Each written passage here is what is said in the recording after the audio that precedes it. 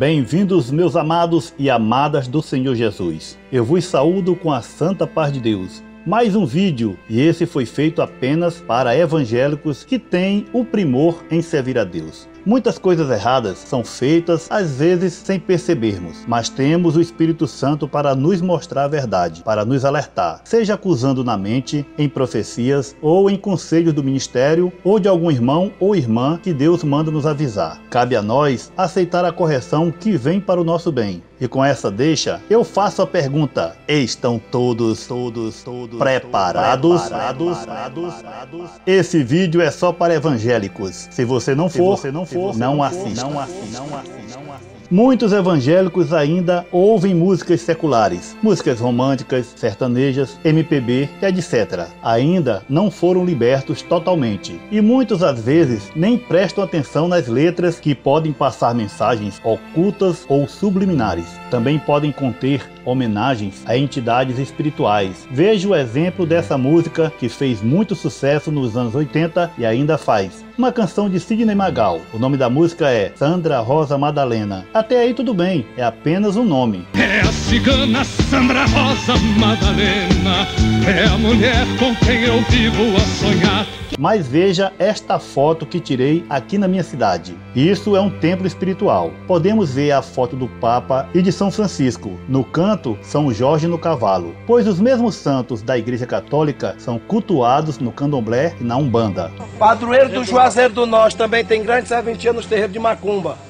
É a mesminha do terreiro de Macumba e também tem tantas igrejas, né? Que apresenta ela como padroeira da igreja. Nossa Senhora do Perpétuo Socorro, né? Então, Santo Antônio na Igreja Católica é Santo Antônio. Na Umbanda também é Santo Antônio. Também tem a figura do tranca-rua com sua capa preta segurando um tridente. E veja o que está escrito: Pombagira, cigana do Egito, Sandra Rosa Madalena, das Sete Encruzilhadas, rainha do candomblé, Veja que a Sandra Rosa Madalena é uma pombagira, a mesma da canção do Sidney Magal. E muita gente canta isso dentro de suas casas sem saber nenhum significado. A maioria dos cantores baianos fazem parte do candomblé e da umbanda, é a religião deles. Mas nós evangélicos não podemos nos misturar com essas religiões. Isso é pra te levar no meu terreiro, pra te levar pro candomblé, pra te levar no altar. Eu tenho um santo padroeiro poderoso que é meu pai Ogum. É do chum, é do chum. Veja agora Juju Todinho cantando um ponto de pombagira na Rede Record no programa A Fazenda 12, uma emissora que se diz evangélica, pois o dono é um bispo muito famoso. Quem é você pra deitar na minha cama? Papagaio come milho, periquito leva. Eu disse dói, dói, dói, dói, dói, dói. Um amor faz sofrer,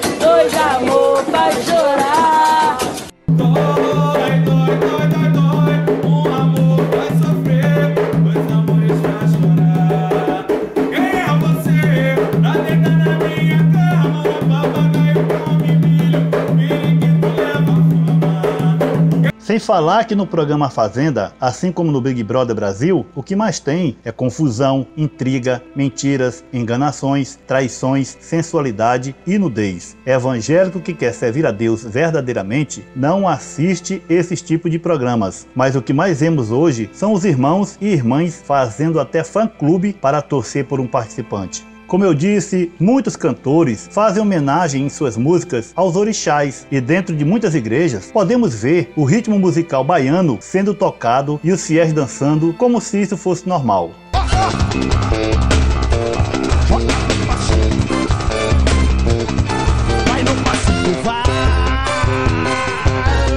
É do Senhor, esse é o bonde do Senhor.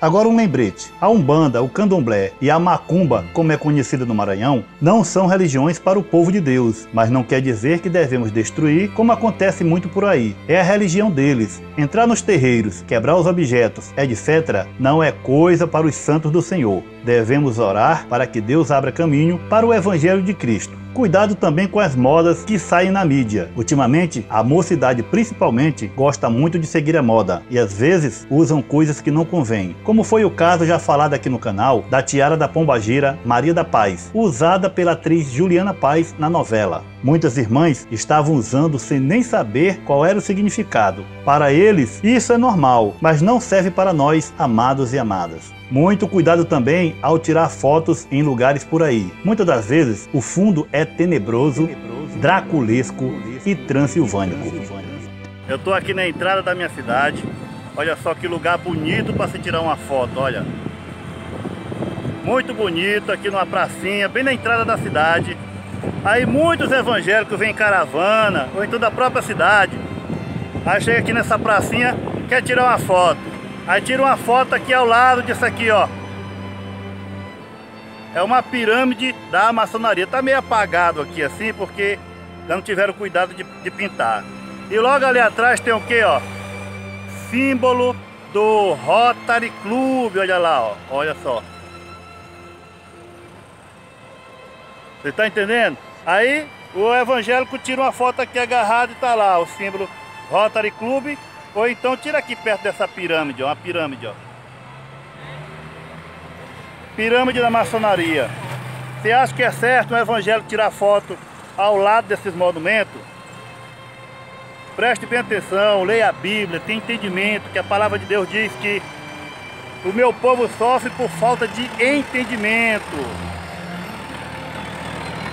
Tem muitas igrejas evangélicas que comemoram o Natal, mas também tem as que não comemoram. Também já fiz um vídeo sobre o Natal, que é uma festa ao deus pagão Mitra. O link está na descrição. Pois bem, já vi muitos irmãos e irmãs tirando fotos em frente às árvores de Natal e presépios, pois eles enfeitam bastante a cidade nesses dias. Amados, se nós não comemoramos o Natal, então como vamos tirar fotos em frente às homenagens aos deuses pagãos que o Senhor reprova? Por isso muitos sofrem. Vamos ter discernimento discernimento das coisas.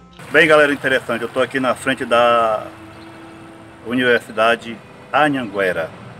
É, também é, é um centro de enfermagem Nossa Senhora das Graças. Mas o importante é lá em cima, perto daquela pirâmide, o nome Anhanguera. Você sabe o que significa Anhanguera?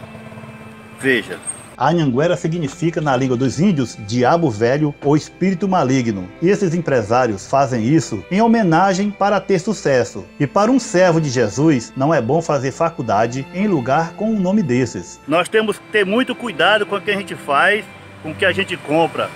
E também na hora de colocar seu filho no colégio. Tá vendo isso aqui, ó? É uma escolinha da maçonaria. Eu já coloquei minha filha para estudar aí quando era criança sem eu saber o que era. Mas é uma loja da maçonaria. Eu vou tirar uma foto bem de perto para vocês verem como tem um símbolo da maçonaria.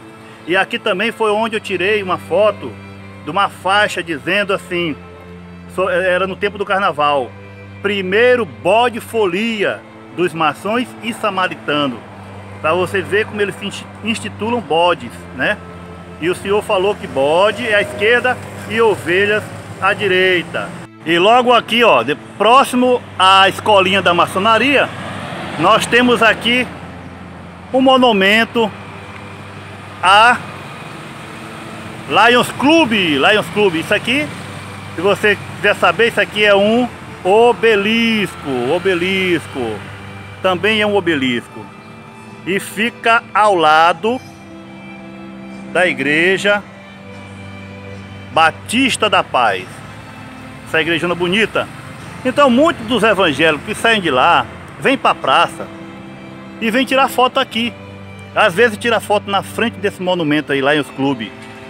E nós que somos evangélicos, é, servos de Deus, que cremos na Bíblia, a gente não pode tirar foto é próximo a essas coisas, como é, Rotary Club, maçonaria, Rosa Cruz, né, Lions Club, porque são é, entidades secretas que que pela Bíblia, pela palavra de Deus, nós, evangélicos, a gente não pode se misturar.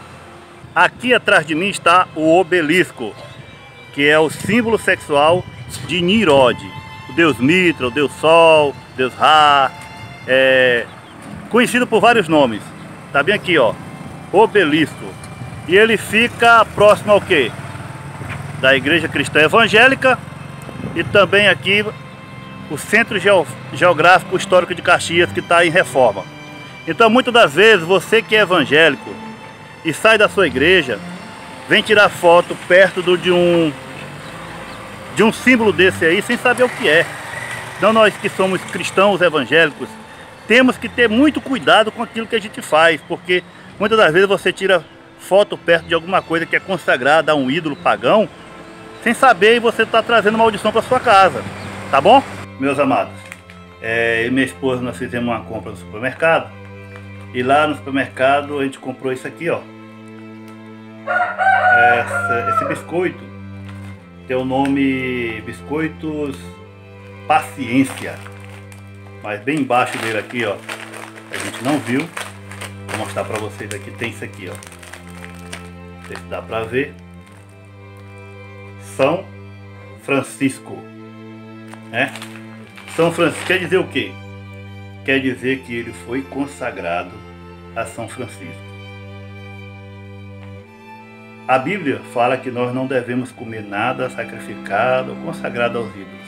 Antigamente pegavam os animais e, e sacrificavam ídolos. Hoje eles consagram. né? Toda loja que tem o nome de um santo é porque ele é devoto daquele santo. O dono, o dono da loja é devoto daquele santo. Aí ele consagra os alimentos para aquele santo. Tudo que é feito ali naquela loja, ou naquela padaria, ou naquela lanchonete, ou naquele restaurante, é consagrado àquele santo, porque ele é devoto àquele santo. Então nós, evangélicos, estou falando para os evangélicos, nós evangélicos não podemos comer esse tipo de coisa. Não podemos. Então a gente tem que prestar bem atenção. Nós não prestamos bem atenção no que estava escrito na embalagem. E isso aqui não é fanatismo, isso aqui chama-se obediência. É, galera, interessante. Tomara a Deus que esse vídeo seja para abrir os olhos de muitos e não para discórdia. Pois toda correção boa e eficaz serve para nos lapidar, para um dia nos encontrarmos com Cristo, nosso Senhor. Que todos fiquem com a santa paz de Deus. Tô indo nessa. Valeu! Valeu! Valeu!